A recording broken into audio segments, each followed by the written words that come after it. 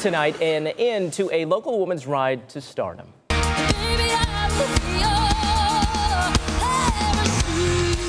You saw it right here on your 41 Action News Station. America sent K uh, Casi Joy home tonight on The Voice. 41 Action News reporter Lexi Sutter was with her family in Smithville as they watched her final performance. Well, this was not how family and friends wanted Monday night's episode to end. Casi Joy did not get the go-ahead from America, but she certainly still has the support of Smithville. A dynamic performance from Smithville native Casi Joy.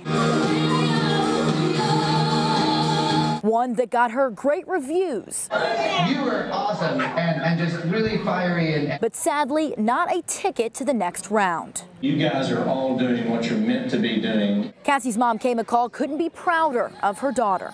This is what she wanted. This is all she's ever wanted. And to finally see her doing that, and I just get choked up every time. It's just like, this is it. Dozens of people packed into the Smithville High School cafeteria to watch the two hour episode. Many of these people have been by Casi's side since the start.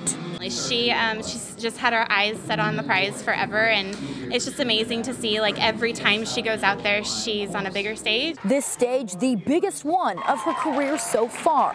And though she won't be back on it next week, her family and friends hope this show launches her career.